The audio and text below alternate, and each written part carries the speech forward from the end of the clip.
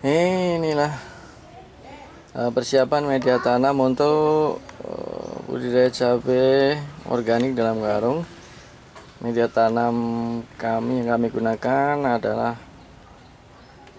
kompos kompos kotoran sapi ini yang sudah dibuat menjadi kompos ya.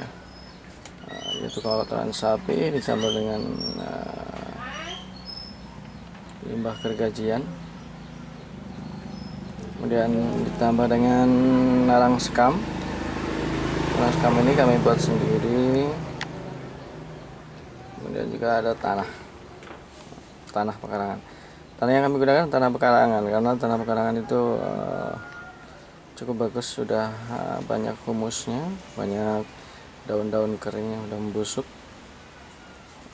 Selain tiga bahan ini juga kami menambahkan pupuk organik petroganik ya secukupnya hanya untuk tambahan saja. Ini.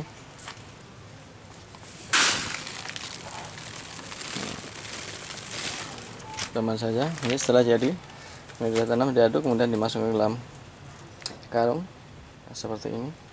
Kira-kira setinggi 10 sampai 20 cm ini sudah ada ini adalah bibit uh, cabai.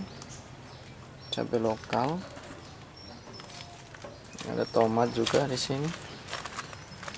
Kemudian untuk cabai yang impor atau cabai hias persemaian saya lakukan eh, kami lakukan menggunakan pot dan gelas bekas. Satu pot satu biji satu seed. Nah, ini nah, di sana juga ada gelas bekas yang gantung semuanya kami beli nama satu satu. Satu-satu kami beri nama